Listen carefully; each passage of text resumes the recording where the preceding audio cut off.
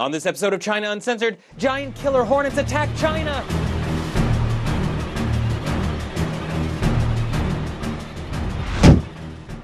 Hi, welcome to China Uncensored. I'm figuratively scared out of my mind. China is under attack from giant wasps. No, not that kind of wasp, this kind of wasp. The Asian giant hornet.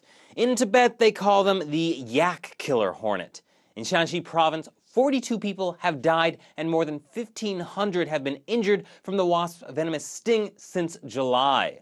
I've heard their sting described as feeling like being skewered by a hot nail and one person was stung 200 times.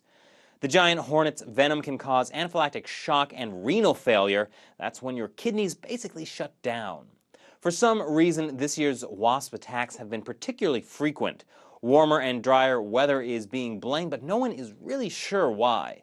And since wasp season in China runs from May to November, we're not quite out of the woods yet. Now, if you're stung by one of these guys, you're in trouble. That's basically a signal for more of them to come and sting you. Running won't help. The average human runs about 6 miles per hour. They can fly at 25. Plus, they're attracted to human sweat. Now, imagine a swarm of these thumb sized killer wasps coming at you. That's what happened in September when these hornets descended on a primary school in South China's Guangxi Autonomous Region. They injured 30 people, including 23 children. Their teacher, Li Zhiqiang, had the students hide under a table while he tried to fight off the swarm until he lost consciousness.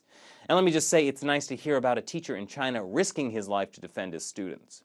So, what are they doing about the hornets? The mayor of one city, Ankang, has promised to establish a 24 hour emergency hornet response team. Maybe they need to take a lesson from Taiwan and show the hornets who's boss by using them to make an alcoholic drink, or Japan and make them into energy drinks. So, is this a side effect of global warming? Have we angered some vengeful god? Leave your comments below. Check out China Uncensored's Facebook or Twitter page, and I'll be back again next week with more new episodes. Thanks for watching. I'm Chris Chappell. See you then.